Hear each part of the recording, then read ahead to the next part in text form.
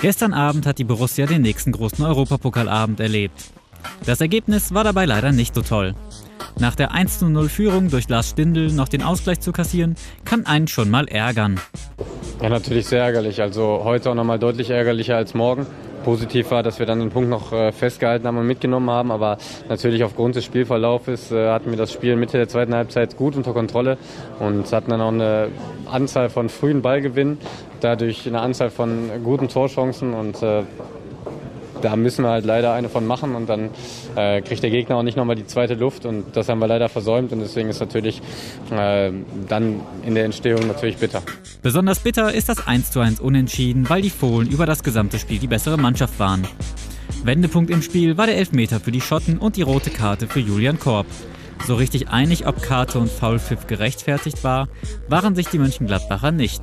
Ich glaube, muss man ehrlich sagen, es ist ein Foul, ähm, aber keine rote Karte, weil der Winkel sehr spitz ist, aber ein Elfmeter ist es, äh, denke ich schon. Ja, kriegen dann doofe Situationen gegen uns, ähm, die aus meiner Sicht, ich habe es noch nicht wieder gesehen, kein Elfmeter war. Ein Foul war es, rote Karte war es nicht.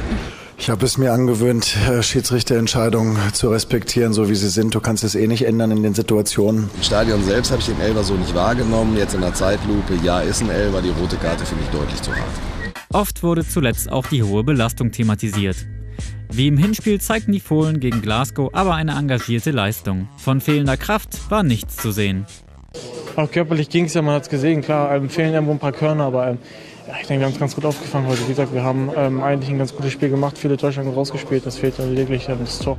In der Tabelle bleibt die Borussia auf dem dritten Platz vor Glasgow. Das Minimalziel ist also immer noch erreichbar.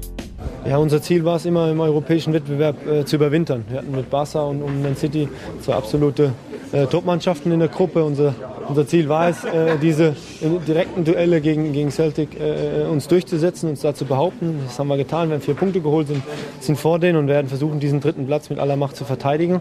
Und alles andere wird man sehen. Zwei Spieler, die dabei jetzt wieder helfen können, sind Torgan Hazard und Raphael. Vor allem Hazard zeigte gegen Glasgow direkt wieder eine gute Leistung und bereitete sogar das 1 zu 0 vor.